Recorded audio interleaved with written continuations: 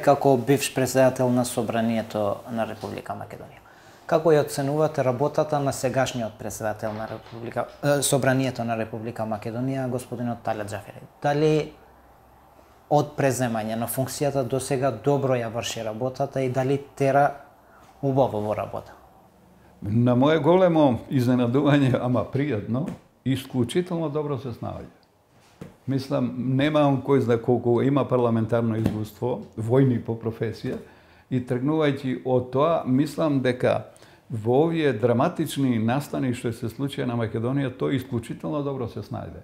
Од моментот на изборот него за председател, начинот на водењето на седнице, бойкотирањето на од страна на опозицијата, до координација на сите други ова, политички партии кои што работат, исклучително успешно. Мене ми е драг пријател и ја не само затоа што ми е пријател талант, не угорам дека стварно исклучително добро. Ја не знам кој било македонец да е председател во овакви моменти на собранието, да не би се така успешно снашал и не би тоа имало таква таков баланс на расположението меѓу граѓаните во Македонија од различни етнички потекло. Значи тој одговорност ја врши функцијата во рамките на уставот колку сакат нека негира.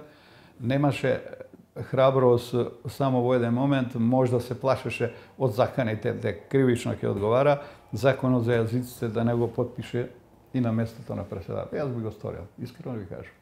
Јас направив така еден преседан.